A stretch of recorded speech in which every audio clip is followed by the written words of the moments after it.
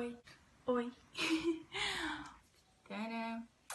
Oi, gente, hoje eu vou mostrar pra vocês um surto de uma aluna em AD. Na verdade, não é mais surto, desde quando a gente se acostuma com essa loucura, né? Mas tudo certo. Vamos lá.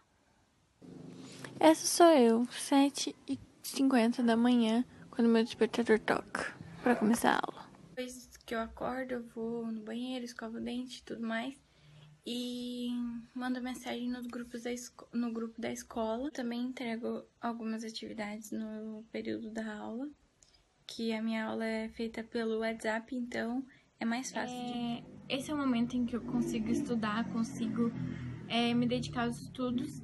De manhã eu não consigo prestar atenção direito, mas tipo na escola eu conseguia super normal, mas pelo celular eu ainda tenho dificuldade. E eu prefiro esse momento agora que é da noite. Eu também trabalho, então esse é o momento que eu também consigo estudar. Mas antes de eu fazer de noite as minhas lições para poder entregar, eu tenho um grupo só meu onde eu consigo colocar todas as atividades que eu tenho para entregar no outro dia. Então eu vou lá, pego no grupo dos professores das minha, da minha aula e coloco nesse grupo que só tem eu. Essa é uma forma de eu conseguir pegar todas as matérias e deixar tudo em dia para saber qual que eu fiz e qual que eu não fiz.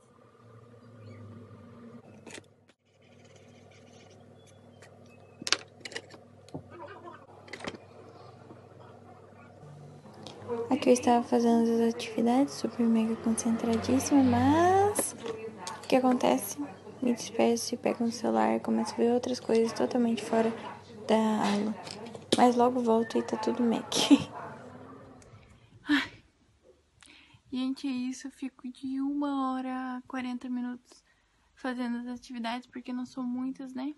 Então, daí eu consigo fazer. Daí, quando eu vejo que eu já não tô conseguindo prestar atenção, que eu não tô conseguindo focar muito, já tô começando a me distrair bastante, eu prefiro parar, porque daí eu não tô entendendo então, nada. Então, essa foi a minha rotina, gente. É, eu mostrei tudo pra vocês que realmente acontece. E é isso. Eu, no começo, eu não gostava muito do estudo à distância, mas agora eu já estou acostumada, né? Porque a gente se acostuma com rotina nova. E é isso, mas... É isso, gente. Tchau.